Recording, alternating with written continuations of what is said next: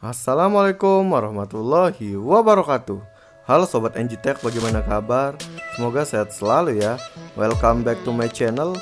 Di kesempatan kali ini NGTech akan share tutorial Cara membuat tampilan KineMasternya Sobat menjadi clean dan fresh. Seperti background yang saya gunakan ini ya sob.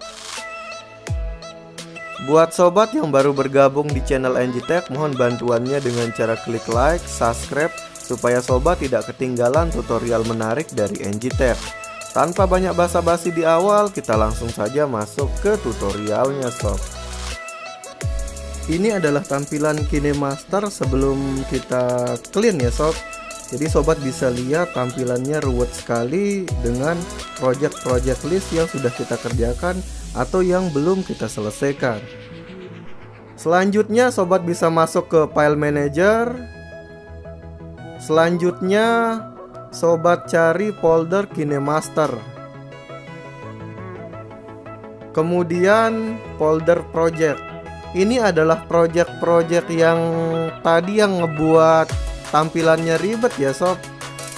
Selanjutnya sobat tandai semuanya, kemudian sobat move. Sobat bebas ya mau simpan di mana saja hasil project ini sobat juga bisa hapus dengan syarat project-project ini sudah clear. Dalam arti semuanya sudah di render ya jadi video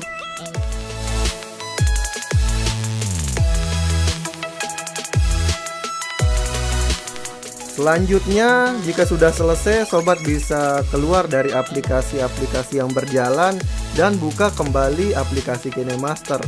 Sobat bisa lihat tampilannya jadi clean dan fresh ya sob. Baik sob, untuk tutorialnya sangat simple sekali. Silahkan sobat praktikan di rumah. Hal ini tidak akan mengganggu performa dari aplikasi KineMaster itu sendiri ya sob hanya masuk dari segi estetika. Tadi kinemasternya sobat kelihatan rapi, clean, dan memanjakan mata tentunya. Videonya sampai di sini. Mohon maaf jika ada kekurangan dalam penyampaian.